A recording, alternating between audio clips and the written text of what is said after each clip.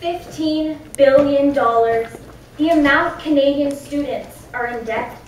8%, the rate of program completion by students who have student loans, and at least one in four, the number of non-enrolled students that state financial issues as to not furthering into post-secondary education. And to break these statistics today, we feel as if on side proposition that we have to propose a resolution today. This House believes that post-secondary education should be free. Now, in side proposition today, we're going to be bringing forth this case in three main contentions. Firstly, I'm going to be talking about the right to education. Secondly, about the breaking of the poverty cycle. And thirdly, about the system of meritocracy. Now, to make this case a little more clear, we're going to define some um, key terms today. Now, this house is defined as Canada. Post-secondary education is defined as any public educational system after high school, and free education is available exclusively to Canadian citizens. Now, we, we believe that the model today is following the Nordic system in the fact that we would be presenting post-secondary education free to Canadian citizens. Now, we believe on that proposition that we have to focus on quality over quantity.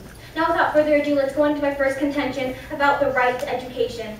Now, fundamentally, we don't think it's fair that if a person has all the same qualifications and credentials as someone else, they should be denied an opportunity simply because they don't have enough money to do so. Why is university so good? Why is it so recommended in our society today? Well, we think university is that crucial stepping stone to one's future. We think it's the place one can find out what to do, but more importantly, we think it's the way people are hired. We think it's the way people have a more successful career and a more successful future. Let's look at the example of a 90% average student to a 95 average student. Now, obviously, in the college system, that 95 average student should be accepted, but we don't see so happening because of their financial financial states. Sure.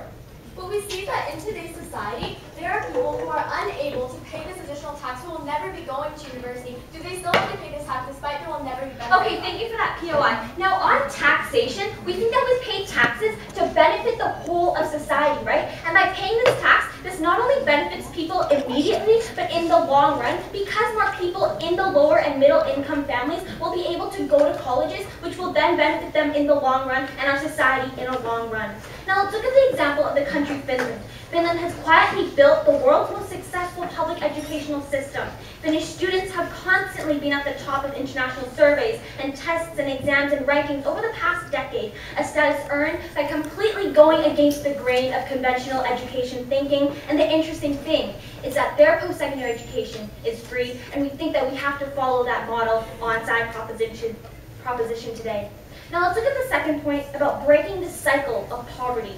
Now currently, these poor families are stuck in a vicious cycle. The high cost of post-secondary education is, in BC specifically is a significant barrier to the attendance by lower and middle income students.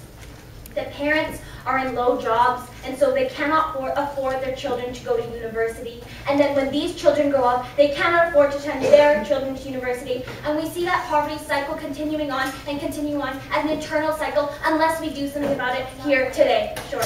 Is it not true that there are already financial aid and scholarships and student loans that we do offer to these students? Okay, thank you. We see that something like a scholarship is the exception. We don't see every single person from the poverty line is getting a scholarship or is getting a student loan because that not only puts a burden on them, but puts another debt um, concern on their lives, which I'm actually going to be um, talking about right now. Now, we see that students who also acquire large debts, putting themselves through school, are unlikely to think about changing society. When you trap a person in the system of debt, they can't afford the time to think. And the whole idea behind going to school, we think on side proposition, is for one to learn, but to also make a difference. We think that that's more important than our college students worrying about loaning more money. Canadian research suggests that debt levels have a direct impact on success in post-secondary education. One study found that as student loans and debt rose from less than $1,000 a year to more than $10,000 a year, that program completion rate fell from 59% to 8%. We see a huge decrease in people going into this public educational system. Now we think that with this idea of debt, the debt not only puts a burden on these students, but also another um, like no deadline and more interest because of the debt rising and rising every single year.